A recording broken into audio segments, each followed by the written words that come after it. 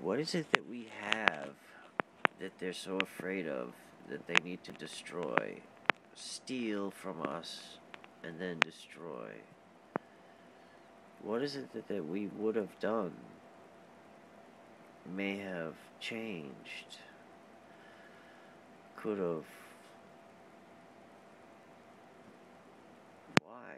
Why us? There has to be a reason. It's not simply random. It's just that we don't have enough data to find out what it is. And everybody has their own personal idea of why this is happening to them.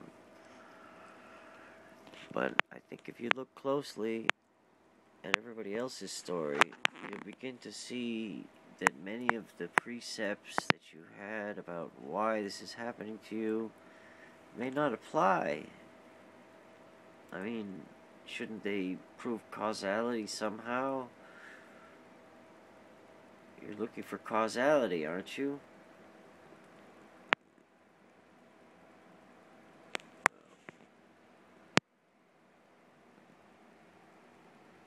I'm looking for solutions.